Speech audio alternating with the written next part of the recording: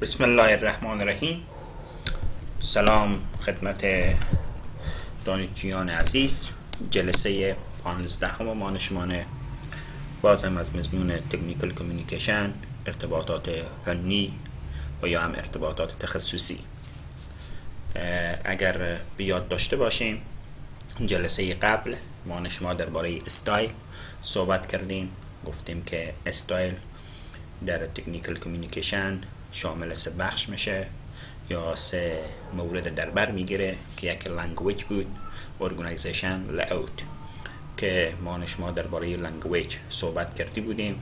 گفتیم که language در استایل یا در technical communication این مفهوم میده که معمولا زمانی که یک اثر علمی نوشته میشه اصطلاحات تخصصی یا واجه های تخصصی اگر به کار میره خوب کونا چه کار شه؟ تعریف شه. چون کسانی که تخصص ندارن به مورشته بتونن اون واژه به درستی درک کنن و همچنین گفتیم از جملات کوتاهتر استفاده بشه چون جملات کوتاهتر خواننده خسته نمی‌کنه افهام تفهیم بهتر صورت می‌گیره و همچنین گفتیم که باید نویسندگان لغات یا واژه های ساده تر ترجیح بدن به خاطر که خواننده نیاز نباشه. که بره لغات چک کنه معمولا یا معنای لغات پیدا کنه چون باز باعث از این میشه که گیج بشه گیج بشه و از اون چیزی که می‌خوانه خسته بشه و علاقمندی رو سلب بشه. این مواردی بود که در قسمت language همراه شما صحبت کردی بودیم محصلین عزیز. بعد از موضوع دوم بعد از language organization ه خب معنای organization شاید معنایی که شما از organization به ذهن داریم که شاید مؤسسه ده بله حرف شما سی مؤسسه. ولی organization در قسمت استایل یا technical communication مفهوم ساختار اینجا میده structure میده ساختار. خب هر اثر چی کتاب باشه معمولا حالا چی مونوگراف من شما مد نظر بگیریم خب اینا ساختارهای متفاوت داره organization های متفاوت باید برای از اینا مد نظر گرفته بشه. در قسمت organization محصلین عزیز اگر همراه شما بحث کنیم که organization یعنی چی به این قسمت خود organization میاییم و همراه شما صحبت می‌کنیم. ببینیم در قسمت organization یا موارد که مربوط به organization میشه در استایل یک اینه که حالا اگر از کتاب همراه شما شروع کنیم خب زمانی که یک نفر یک کتاب نویسه بعض قواعد باید مد نظر بگیره. موضوع اول به طور مثال یک کتاب باید فهرست مطالب داشته باشه table of content داشته باشه چکیده داشته باشه مقدمه داشته باشه. اگر شما بیشتر از کتاب ها و حتی مونوگراف ها مد نظر بگیریم محصلین عزیز دارای فرست مطالب دارای چکیده دارای چی؟ مقدمه. این موارد بسیار مهمه. چی خاطر این موارد مهمه در قسمت آثار علمی یا کتب علمی یا مقالات علمی و همچنین مونوگراف ها اگر در نظر بگیریم فکر کنیم یک کتاب که 400 500 صفحه باشه خب شما به این فکر باشیم که آیا این کتاب به درد من می‌خوره یا نمی‌خوره یا ما از این کتاب استفاده کرده می‌تونم یا نمی‌تونم یا معمولا چیزی که من نیاز دارم آیا به داخل از این کتاب هست یا نیست. شما نمی‌تونیم به طور مثال یک زمان بسیار کوتاهی بیم 400 یا 500 صفحه کتاب بخوانیم. شما اول به کجا مراجعه می‌کنیم به فهرست مطالب. میریم فهرست مطالب می‌خونیم در حد یک دقیقه یا دو دقیقه. ارو فهرست مطالب شما حدس می‌زنیم که آیا این کتاب به دردم می‌خوره یا نمی‌خوره؟ آیا او چیزی که من نیاز دارم به داخل از این کتاب می‌تونم پیدا کنم یا نه؟ آیا این کتاب کتاب جالب هست یا نیست؟ شما از او فهرست مطالب می‌تونیم حدس بزنیم به مواردی که ذکر کردم. ببینیم پس در قسمت organization این فهرست مطالب خیلی مهمه.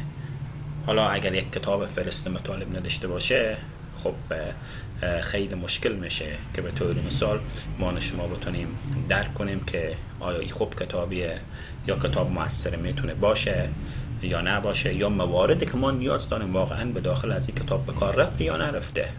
خب امکان از این هم که شما به طور مثال وقتی که می‌خوایم کتاب بخریم در حق یک در حد یک دقیقه دو دقیقه یا پنج دقیقه یک کتاب که 200 صفحه یا 300 صفحه یا 400 صفحه اول بخوانیم. رو فهرست مطالب حدس می‌زنیم و مجرد ایکو شما کتاب برداریم یا هر کسی که کتاب می‌خواد بخره اسم کتاب معمولا فهرست مطالبی میای چیکار می‌کنه؟ مرور می‌کنه. یا در قسمت چکیده اگر مد نظر بگیریم. خب مونوگراف ها را اگر شما نگاه کنیم چکیده داره. حتی بعضی کتاب ها چکیده داره. هر چکیده شما می‌تونیم پی ببریم به مطابقاتی که به داخل کتاب یا به داخل مقاله یا بالاخره همچنین یک مونوگراف به کار رفته. این موارد برمیگرده به چی؟ برمیگرده به organization محصلین عزیز. حالا به قسمتی هم که نوشته organization the document might need. یک document حالا document اینجا همو خود document که سند منام اصلی اینجا همو اثره که معمولا نوشته میشه او به نام چی میگن؟ به نام document میگن. باید نیاز داره به چی؟ an introduction introduction نیاز داره معمولا. به مقدمه نیاز داره. بیشتر از کتاب ها شما هیچ کتاب بدون مقدمه نمی‌بینه. هیچ مونوگراف بدون مقدمه نمی‌بینه. شاید مقاله بدون مقدمه نبینه. چون اینا نیازه هم به مقاله هم به کتب و همچنین به مونوگراف ها و موضوع table of content فرست مطالب از همه مهمتره. موضوع چکیده مهمتره. این مواردیه که در قسمت چیه؟ در قسمت organization یعنی وقتی که یک نفر می‌خواد یا یک نویسنده یک کتاب نویسه یا مقاله و یا حالا مونیگراف دیگه خوب نویسندگان معمولا کارشان یا مقاله نوشتن و یا هم کتاب نوشتن باید بخش ارگنیزیشن مد نظر بگیره که معمولا این قسمت کلا در کتب و همچنین در مقالات مد نظر گرفته میشه. و حتی محصلینه که انشالله شما به سمستر هفت به سمستر هشت هفتش برسیم بالای مونیگراف کار می‌کنیم. یک مضمون داریم به نام سیمینار و درباره organization درباره layout و همچنین language این موارد باید صحبت زیادتر بشه. قواعد داره. که طبق از قواعد شما می‌تونید بخش language پیش ببریم می‌تونید بخش organization بخش layout اینا انشالله همه شما در مضمون سیمینار و یا روش تحقیق می‌خوانیم و بعد از که اون مضمون خواندیم میاییم در قسمت چی کار می‌کنیم؟ در قسمت مونوگراف کار می‌کنیم. و همچنین ویزبل استرکچر باشه محصلین عزیز. زمانی که یک اثر نشر میشه یا چاپ میشه ویزبل استرکچر باشه. یعنی تو قابل دید باشه. هدف از قابل دید یا خوانا باشه یعنی چی؟ یعنی عناوین مشخص باشه. عناوین اصلی کدونای عناوین فرعی کدونای خب بالاخره آیا یک عنوان اصلی که وجود داره این زیر مجموعه داره یا نداره؟ اگر موارد نیاز به شماره شماره زده باشه. اینا رو به نام چی میگم؟ به نام visible structure به طور مثال headings عناوین. خب عناوین باید ارو عناوین می‌تونیم موضوعات معمولا تقسیم بندی کنیم یا اونا رو جدا بسازیم. و همچنین subheadings عناوین اصلی یا عناوین فرعی این موارد کلا باید مد نظر گرفته بشه. و یا اگر حتی نیاز باشه در قسمت فصل بندیشه بیشتر از کتاب هایی که شما دارین فصل اول فصل دوم فصل سوم فصل چهارم این موارد کلا برمیگرده به بخش چی؟ به بخش organization حالا organization در استایل معمولا می‌تونیم بگیم شامل فرست مطالب میشه شامل چکیده مقدمه خدمت شما عرض کنم. عناوین اصلی عناوین فرعی بالاخره دستبندی یا فصل بندی اینا کاملا برمیگرده به چی؟ برمیگرده به organization که نویسندگان کلا هر زمانی که معمولا یک اثر چاپ می‌کنه شما نگاه کنیم کلا این موارد وجود داره. چون گفتیم یک بخش عمده از چی؟ یک بخش عمده از فاکتورهای که مربوط به تکنیکال کمیونیکیشن میشه. هر کتابی که شما می‌خوانیم در پانتون محصلین عزیز هر کتابی که کلا دروسه که شما به پانتون می‌خوانیم از ارتباطی که در کل داریم در دانشگاه یا پانتون کلا چیه؟ تخصصیه. اگر استاد حالا hydrology بیایم مد نظر بگیریم موضوع تخصصی structure مد نظر بگیریم موضوع تخصصی fluid mechanic مد نظر بگیریم موضوع تخصصی کتاب هایی که شما هم می‌خوانیم کلا کتب چیه؟ تخصصی ارتباط در کل ارتباط در دانشگاه ها یا پوهنتون ها کاملا ارتباطات چیه؟ ارتباطات تخصصی یا همین technical communication یا ارتباطات فنیه. خب به هر حال این موارد بود که مربوط به چی می‌شد؟ مربوط به organization می‌شد. و موضوع سوم layout محصلین عزیز layout به چی مفهوم؟ ایکو در قسمت معمولا حالا کتب اگر نگاه کنیم بیشتر از کتاب ها جدول داره یا گراف داره.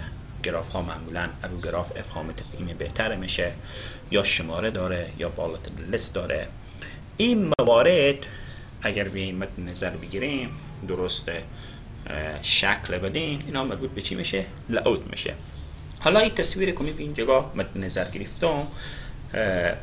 خب این مثال به شما بگم شما به قسمت لعوت می‌تونیم بهتر پی ببریم. ببینیم اگر ما همین موارد که به این جگاه به کار رفته به صورت متن نوشته کنیم بیتره یا به این طریق؟ آیا به کدام طریق افهام تفعیم معمولا بیشتر صورت می‌گیره. زمان کمتر می‌بره تا شما او رو بخوانیم و یا و همچنین برداشت بهتر. خب طبیعتا اگر شما بیایم همین موارد که به این جگاه به کار رفته بیایم به صورت متن نوشته کنیم. به صورت متن نوشته کنیم. خب یک اولی که اگر شما خواسته باشیم رو بخوانیم زمان زیادتر می‌بره. این زمان کمتر می‌بره. یک موضوع. موضوع دوم برداشت ارو از این تصویر به مراتب زیادتره از یک متن نوشته بشه و همچنین کمک جذابتر هم هسته نسبت به چی؟ یعنی جذب می‌کنه خواننده نسبت به متن خب این موارد به نام چی میگن؟ به نام لعوت میگن حالا گاهی وقت نیازه که شما به جای از اعداد ارقام داریم به شکل کانتکست نوشته کنیم بهتره که جدول ها استفاده کنیم یا از گراف ها استفاده کنیم. این موارد اگر به کار گیریم خب همه باعث از این میشه که افهام تفعیم بهتر به وجود بیایه و زمان کمتر بفهمه و بیشتر برداشت بشه. حالا چارت گراف و همچنین در قسمت بولت یا بولتد لیست بولتد لیست ببینیم محصلین عزیز انا همین موارد به نام چی میگن؟ بولتد به این قسمت میبیام ببینیم شاید زیاد استفاده کنیم زمانی که چند موضوع می‌خوایم استپ بای استپ توضیح بدیم از این موارد استفاده می‌کنیم موضوع بهتر فهمیده میشه. اینا رو به نام چی میگن؟ bullet bulleted list و همچنین از شماره استفاده می‌کنیم گاهی وقت اگر دیده باشیم از شماره هم استفاده می‌کنیم به خاطر arrange کردن یا منظم کردن. خب اینا کلا چی استفاده میشه؟ to highlight main points به خاطر از اینکه برجسته بسازیم نکات اصلی گاهی وقت نکات اصلی داریم یا نکات اساسی داریم مثل که شما قسمت استفاده کردین چی استفاده میشه. خب این در قسمت لعوت بود. پس اگر خواسته باشیم جنبندی کنم مسئلین عزیز استایل در حقیقت روش یا شیوه که نویسندگان نوشته می‌کنن یا the way a writer writes روشی که یک نویسنده نوشته می‌کنه یا it is a technique that an individual author uses in writing و یا تکنیک یا تکنیک یک نویسنده استفاده می‌کنه در قسمت نویسندگی. که استایل در تکنیکل کمیونیکیشن شامل چند بخش می‌شد؟ شامل سه بخش. Language organization layout. در قسمت language گفتیم که موارد در بر می‌گیره مانند از که باید واژه ها و یا کلمات تخصصی که به کار میره توضیح داده شه. بهتره و همچنین از جملات کوتاهتر استفاده شه نسبت به که جمله خیلی طولانی باشه. حالا دیگه مواردی هم هست معسلین عزیز. ما شما هم عمده ها رو ذکر کردیم موارد عمده ای که به کار رفته همونان میگم همراه شما. و همچنین لغات ساده استفاده شه به خاطر که نویسنده خسته نکنه ببخشیم خواننده خسته نکنه بتونه بهتر درک کنه و موضوع برای چی بشه؟ جذاب بشه. در قسمت organization گفتم شامل فرست مطالب میشه چکیده مقدمه و این موارد که مد نظر گرفته بشه در کتاب یا در مقاله و یا همچنین در مونوگراف اینا شامل چی؟ organization و layout هم بحث چارت و گراف و این موارد بود. استایل هم خود شما خواندین محصلین عزیز. و اگر خواست خدا باشه به جلسه بعد همراه شما درباره فرمت دست می‌کنیم. و یک کار خانگی هم میبی قسمت به شما مد نظر می‌گیرم. کوشش کنیم که درباره language organization layout پنج, پنج مثال پیدا کنیم و اینا رو دستنویس کنیم. به تلگرام بفرستیم و بعضی از محصلین کارا خانگی میفرستن بعضی میفرستن و کارا خانگی نمره داره. چون معمولا کارا خانگی که من به شما میدم اینا 100 فیصد نمره داره 20 نمره مربوط به کارهای خانگی میشه و کوشش کنیم که کارهای خانگی بفرستیم. نشه که باز خدای نکرده 20 نمره شما صفر بشه یا کم بشه چون به سر فیصدی شما تاثیر گذاره. موفق و معید باشه مرسلین عزیز اگر خواست خدا باشه جلسه ای بعد همراه شما درباره فرمت بحث می‌کنیم. ببینیم که فرمت در تکنیکل کمیونیکیشن یا ارتباطات فنی چی مفهوم ارائه می‌کنه. موفق و معید باشین. خدا یار و نگهدار شما